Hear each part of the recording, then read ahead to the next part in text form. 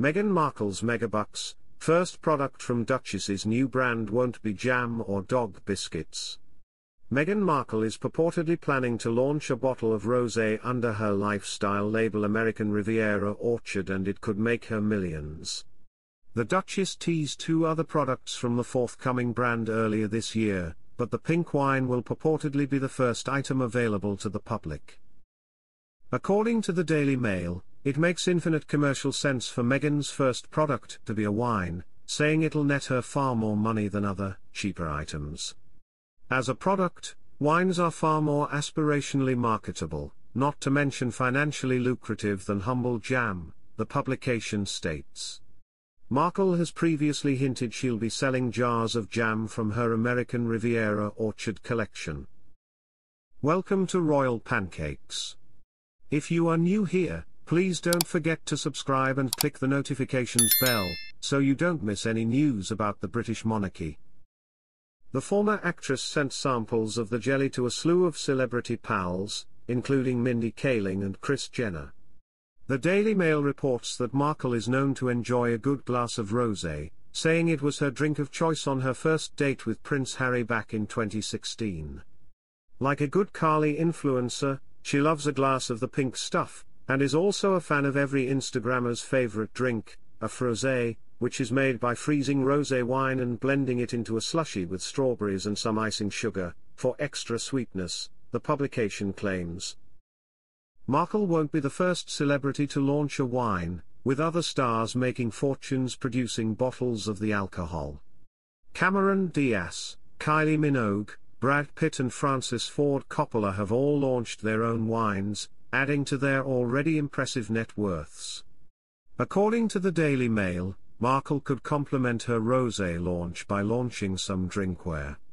It's expected that other products in the initial tranche of releases will be drinking and serving ware, bar essentials and other products, related to hosting and entertaining, they write, quoting inside sources. We can expect items in classic, but expensive, style. Markle has not confirmed the Rosé report. Meanwhile, it's believed the Duchess will also include dog biscuits as a part of the American Riviera brand. Last week, her close pal unveiled a jar of the canine treats that came from the former actress. The timing of the dog biscuit debut raised eyebrows as it came just hours before Markle's estranged sister-in-law, Princess Kate, appeared in public for the first time since her cancer diagnosis in March. Meghan Markle's close friend unveiled a new flavor of the Royals jam just hours before cancer-stricken sister-in-law Kate Middleton made a triumphant return to the spotlight.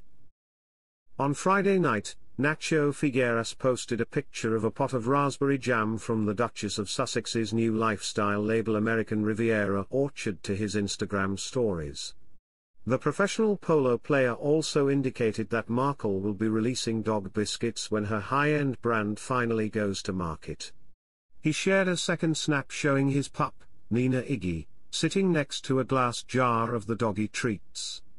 The jar featured the same ribbon that adorns Markle's jam, as well as a similar style of cursive writing on the packaging. It's unclear whether the timing of the photographs was simply coincidental. Markle and her husband, Prince Harry, have been friends with Figueras for years.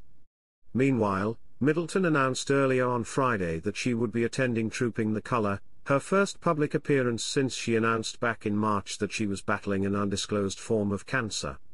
On Saturday, the Princess of Wales appeared alongside her husband, Prince William, and their three children, Prince George, Princess Charlotte, and Prince Louis, at the event that featured thousands of marching soldiers and horses along with a Royal Air Force flyover and music. Crowds cheered as Middleton took to the Buckingham Palace balcony next to King Charles and Queen Camilla. Royal supporters equipped with cardboard cutouts of Middleton camped overnight to secure their prized spot to see the family appear on the balcony. In an emotional health update on Friday, Middleton admitted she has good days and bad days and is not out of the woods with her illness. On those bad days you feel weak, tired and you have to give in to your body resting, the princess wrote. But on the good days, when you feel stronger, you want to make the most of feeling well.